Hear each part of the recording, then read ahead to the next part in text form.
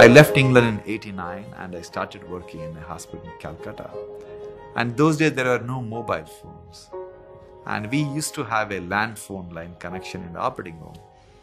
And when I was in the middle of an operation, my anesthetist took a call and he told me that uh, some patient wants me to make a house call.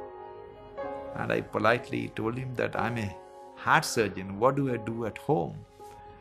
And then the caller insisted that I visit the patient, saying that it might perhaps transform my life. And that patient happens to be Mother Teresa. She introduced me to the power of simplicity, power of compassion, power of love like one of our very famous uh, statements, which I have in my office, is that hand which helps are holier than the lips that pray.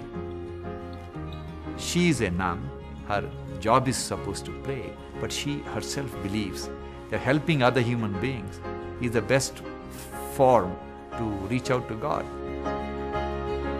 You see, the modern medicine has undermined the importance of touch and compassion on the face of a doctor. When a patient comes to me, he has done all the investigations. I know exactly what's happening with the patient. I don't need to put a stethoscope and listen to his heart and the lungs. But I do it. I don't need to touch him.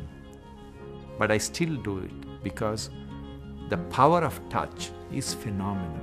The moment I touch the patient, I put my hand around the shoulders. That's very reassuring. I only have 5 minutes or 10 minutes of interaction. In that period, I have to convince him to undergo an operation by which he can potentially die. He has to make a decision. He has to trust me. I have to look onto his eyes, talk to him, connect with him. And that's very important. That, that has larger healing power than all the surgical tools and medicines I have in this world. But unfortunately, the, the, the whole philosophy of a touch, compassion, caring is gradually losing ground. It is a sad situation. I hope it gets restored.